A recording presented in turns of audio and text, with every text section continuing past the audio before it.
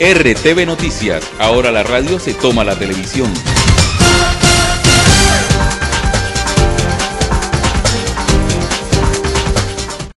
8 de la mañana, 23 minutos. Eh, Rafael, la alcaldía de Nuquí hizo entrega de kits escolares, ¿no? Sí, señor Mire, dice que la alcaldía de Nuquí realiza entrega de kits escolares a estudiantes afro e indígenas en el corregimiento de Tribugá. Dice que el alcalde del municipio de Nuquí, Jefer Arley Gamboa Palacios, acompañado de su secretario de despacho, la gestora social y el representante legal de los consejos comunitarios Raizales Nuquí, hicieron entrega de kits escolares a estudiantes más necesitados de esa zona del municipio.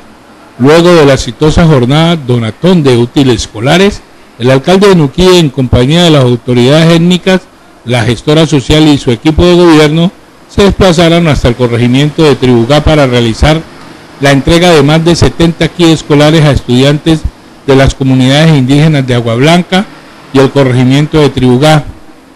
Esto con la finalidad de que los niños y jóvenes que hacen parte del sistema educativo público municipal tengan los elementos necesarios para acceder y mantener en las aulas de clase durante el periodo académico 2020, así puedan avanzar de manera efectiva sus jornadas escolares.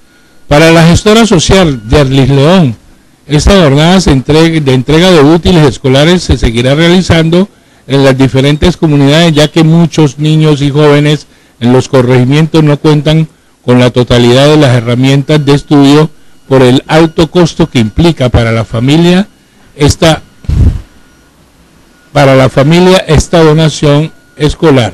Además, agradeció a cada una de las personas que se vincularon a esta primera jornada, en, eh, en especial a la Fundación Eduardoño por la entrega de más de 20 cajas de cuadernos donadas.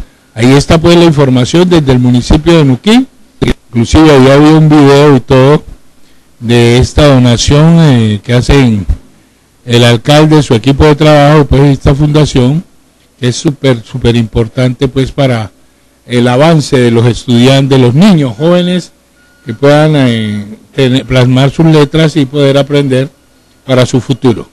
8 de la mañana, 25 minutos. Les vamos a contar también de eh,